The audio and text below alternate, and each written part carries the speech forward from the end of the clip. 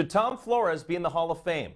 That's actually a trick question. He already is. He's in the Fresno County Athletic Hall of Fame, inducted in 1988. 30 years later, Flores is one step closer to being in the Pro Football Hall of Fame. The semifinalists for the class of 2019 were announced today, and Tom Flores is on the list.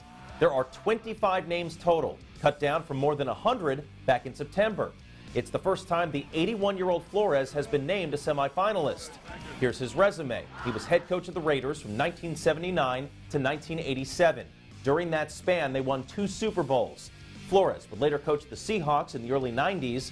He was the first Latino head coach in NFL history, and he has rings as a head coach, an assistant coach, and as a player.